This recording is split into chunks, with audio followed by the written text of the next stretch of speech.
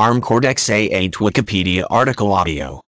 The ARM Cortex-A8 is a 32-bit processor core licensed by ARM Holdings implementing the ARMv7a architecture.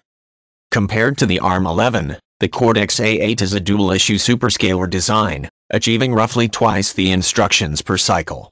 The Cortex-A8 was the first Cortex design to be adopted on a large scale in consumer devices.